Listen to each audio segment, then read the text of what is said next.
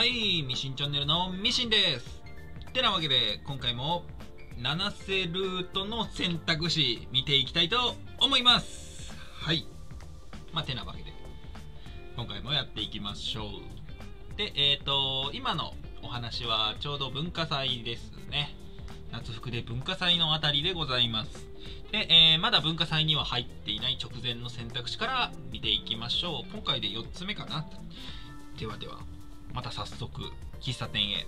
まあ多分夜の喫茶店文字ロールなんじゃないかなと思っておりますが、どうでしょうか？当たるかな ?GO! 最近週に1回くらいのペースで七瀬から連絡を受けて時間を潰すのに付き合うようになっていたレンさん映画好きなんですよね普段から映画館とかよく行くんですか？いやー映画館はあんまり行かないなここ何年かはネットレンタルで済ませてるな。最近はネットの月額サービスとかありますもんね。あれが便利なんだよな。海外のドラマとかも見やすくて一度見たやつを流しっぱなしにしたりする。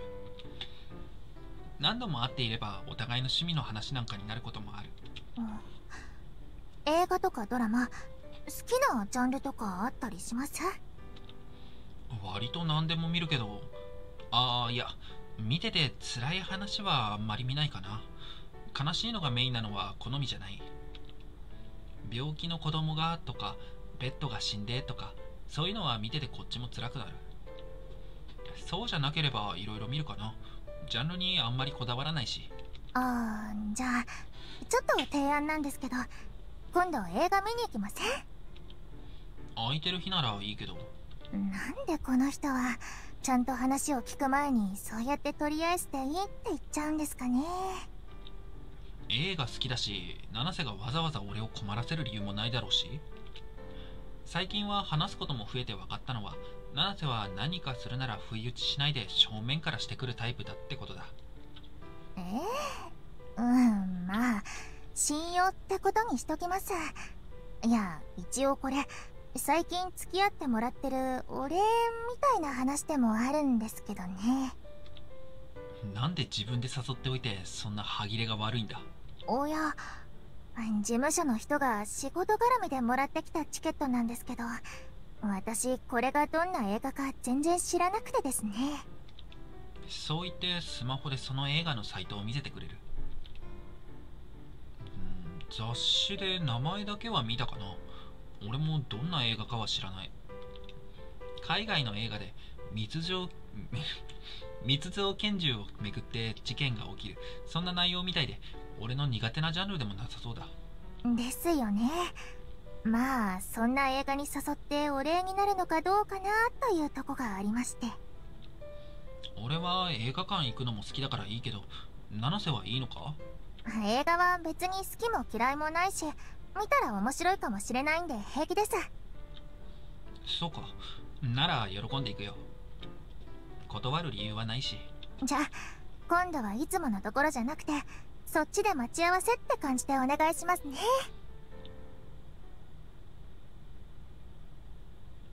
そんな約束をして後日七瀬と一緒に映画を見に行ったんだけど。なんかそのすみませんでした。何があったそしてなんか初じゃん初？わからん。えこんな後ろ背景あったっけ？駅前でもない。なんかこう街並みでもない。商店街っぽいところでもない。なんか街だね。へえあれなんだ。このこの街のまあいわゆるショッピングモール的？もしくはちょっと駅で乗って電車乗ってちょっと離れたところなのかな？まあ映画館あるくらいだからちょっとまあ街だよね。多分その行くなら。へえもしかしたら誰かのまあ例えば七瀬のルートのデートシーンとかあればこういうところ行くのかな？映画を見終わって七瀬が複雑な顔をしていた。そう言いたくなる気持ちもわかる。つまりそんな映画だった。一番面白かったのは始まる前の他の映画の宣伝でしたね。そう言いたくなる気持ちもわかる。帰り道で買ったミルクティーのプラカップを片手に七瀬が消化不良でしょうがない顔をしていた。こうですね。私サイト見た時はその密造された銃で殺人事件が起きてみたいな話かなって思ったんですよ。俺もそう思った。誰がどこで作ったかわからない銃で人が殺されてそれが鍵になる映画だと思った。ですよね私の読解力が足りないとか勘違いひどいとかそういうやつじゃないですよね。だけどまさかな。犯人も製造者も開始20分くらいで判明してあと終わるまでグダグダするとか思わないよな。すごかった。あんなに1時間以上グダグダした映画を見たのは久しぶりだった。B 級どころか C, C 級？どこまで行くんだろうね。途中気になって横に座ってた七瀬の顔を見たらなんでそうなるんだろうという顔をしていた。途中に何度か急に入ってくるサービスシーンで間を持たせようとしてたよな。白状するとああいうシーンの時に男の人というかレンさんがどんな顔して見てるか気になってそっちチラ見したんですよ。ああこっち見てたのそういう理由だったのか。気まずくて様子を見てるのかなと思ってたはい。いやああいうシーンなのになんで今って顔してたのちょっと笑いましたけど。だってサービスシーンの入るタイミングが本当なんでかわからなかったから。あもっとその後に殺されるとか地上のもつれとか本筋に関わるならそうなるのも分かったんだけど。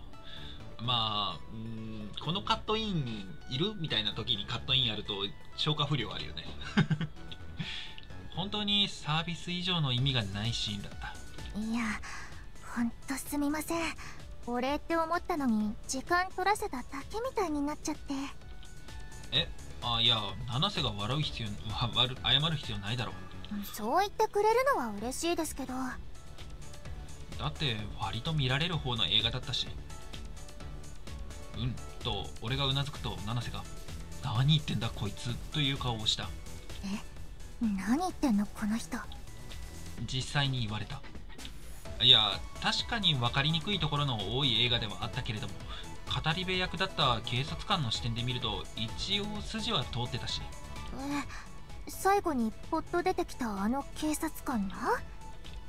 そうあの警察官の。あれがあったから最終的に納得できたよ。え何言ってんのこの人。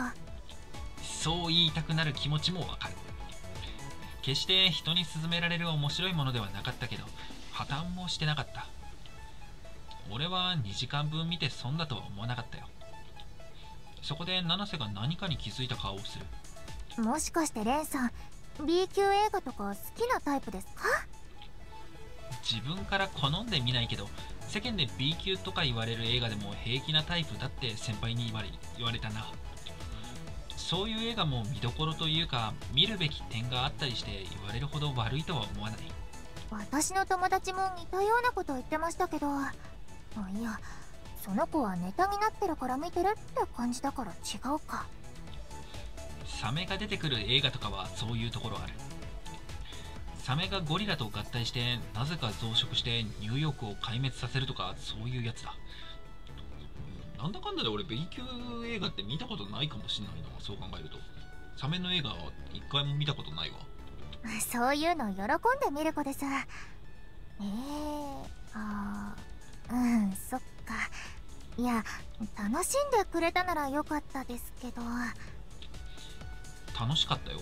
あはい。それなら声かけてよかったですそういう七瀬は心底釈然としないという顔をしていたのだった。